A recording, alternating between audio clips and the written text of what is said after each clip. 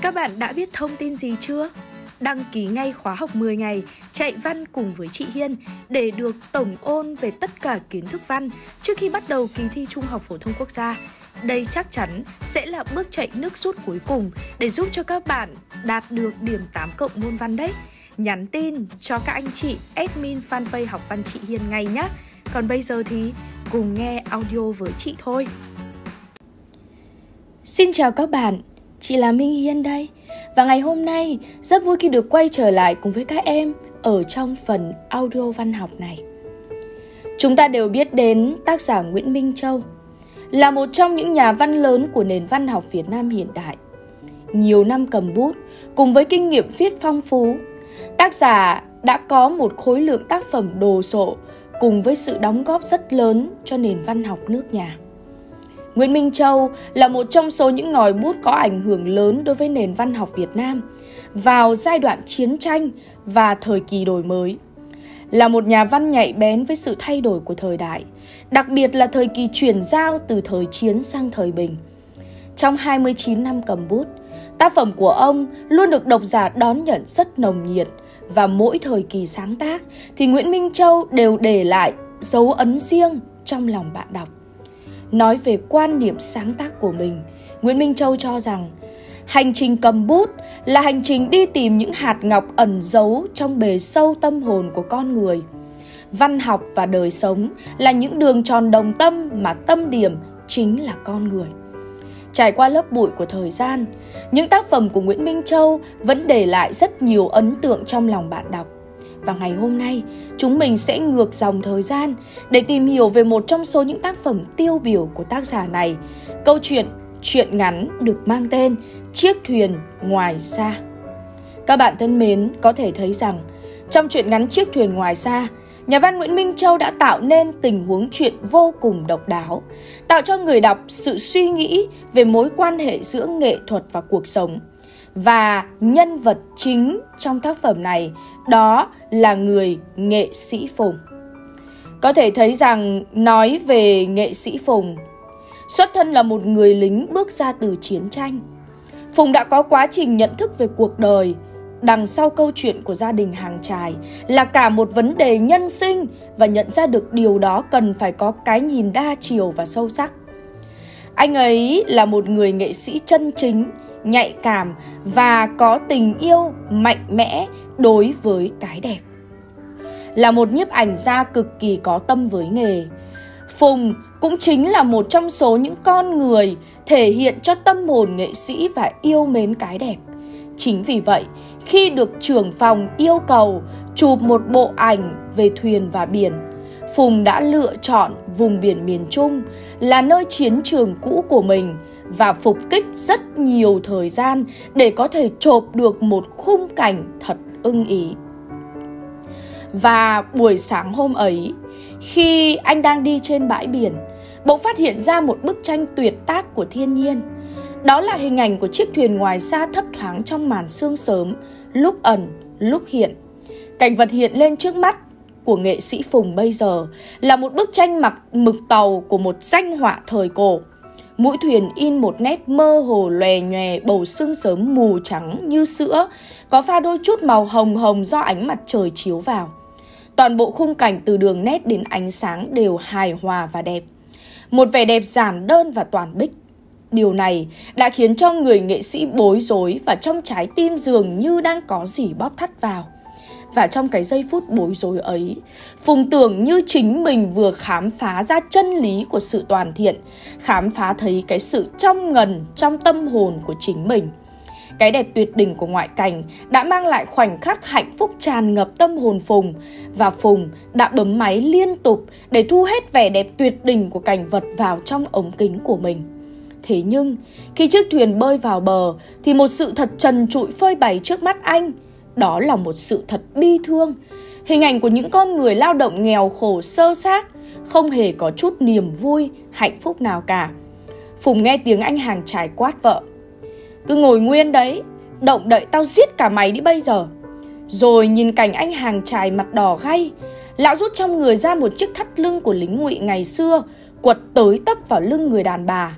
Hắn vừa đánh, vừa thở hồng hộc, hai hàm răng nghiến ken két, cứ mỗi nhát quất xuống, lão lại nguyền rủa bằng cái giọng rên rỉ đau đớn.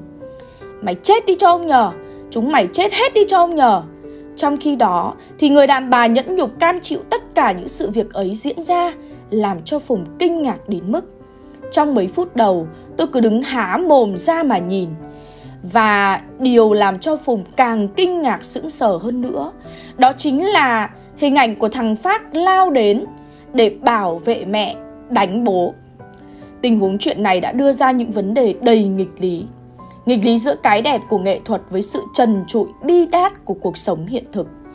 Nghịch lý giữa người vợ tốt bị hành hạ nhưng vẫn nhất định không bỏ chồng.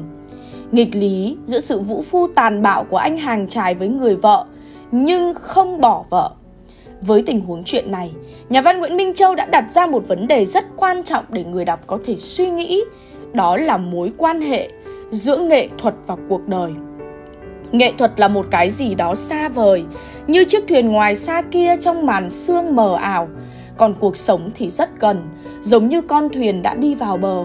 Hay nói một cách khác, Nguyễn Minh Châu cho rằng nghệ thuật trước hết phải gắn liền với cuộc sống, phải phản ánh chân thật cuộc sống và góp phần cải tạo cuộc sống, làm cho cuộc sống ngày càng tốt đẹp hơn. Quan điểm này của Nguyễn Minh Châu rất cần với quan điểm của nhà văn Nam Cao. Nghệ thuật không cần phải là ánh trăng lừa dối, không nên là ánh trăng lừa dối. Nghệ thuật chỉ có thể là tiếng đau khổ kia thoát ra từ những kiếp lầm than. Một tình huống chuyện độc đáo đã được Nguyễn Minh Châu tạo ra. Đó chính là hình ảnh người đàn bà là được đầu, bao công của cái huyện ven biển này mời đến để khuyên răn là người đàn bà này hãy ly hôn với chồng. Và người nghệ sĩ Phùng đã chứng kiến câu chuyện đó. Thế nhưng sau buổi nói chuyện với những lý lẽ của mình thì cuối cùng người đàn bà này vẫn quyết định từ chối, không chấp nhận việc bắt mình phải bỏ chồng. Chính điều này đã khiến cho Phùng cực kỳ sững sờ. Lòng chú tốt, nhưng các chú đâu có phải là người làm ăn, cho nên các chú đâu có thể hiểu được cái việc của người làm ăn lam lũ, khó nhọc. Là bởi vì các chú không phải đàn bà, chưa bao giờ các chú biết như thế nào là nỗi vất vả của người đàn bà trên một chiếc thuyền không có đàn ông. Đàn bà ở thuyền chúng tôi phải sống cho con, chứ không phải sống cho mình như ở trên đất được. Mong các chú lượng tình cho cái sự lạc hậu, các chú đừng bắt tôi bỏ nó. Chính những lời lẽ của người đàn bà này đã khiến cho Phùng và Đầu chợt nhận ra rằng lòng tốt của các anh hóa ra lại là phi thực tế. Và chính những lời lẽ đó đã giúp cho Phùng và Đầu nhận ra được nghịch lý của đời sống.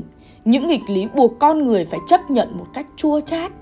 Trên thuyền phải có một người đàn ông để trèo trống, dù hắn man dợ và tàn bạo.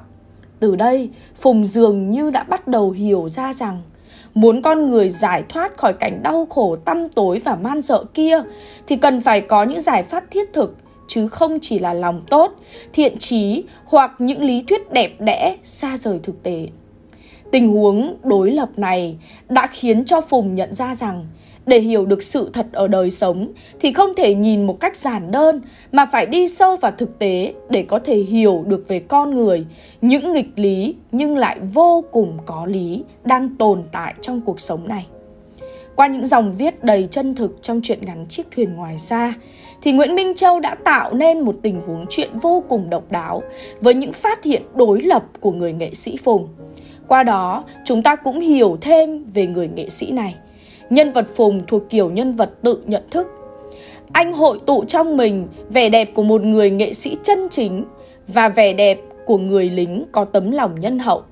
Nguyễn Minh Châu đã khắc họa thành công nhân vật này trong tình huống chuyện đầy nghịch lý với điểm nhìn độc đáo của câu chuyện được kể dưới cái nhìn của nghệ sĩ Phùng nên càng gần gũi, chân thực và sâu sắc hơn.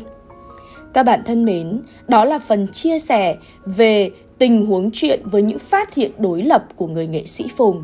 Hy vọng rằng với phần chia sẻ của chị vừa rồi, các bạn cũng đã có thêm những phần kiến thức để có thể tập trung cho việc ôn luyện những phần kiến thức về tác phẩm Chiếc thuyền ngoài xa của nhà văn Nguyễn Minh Châu các bạn nhé. Chị hẹn gặp lại các bạn ở trong phần audio tiếp theo và hy vọng rằng chúng mình sẽ lại được tiếp tục chia sẻ cùng với nhau những phần kiến thức thú vị nữa. Còn bây giờ thì xin chào và hẹn gặp lại các bạn ở trong những phần audio tiếp theo.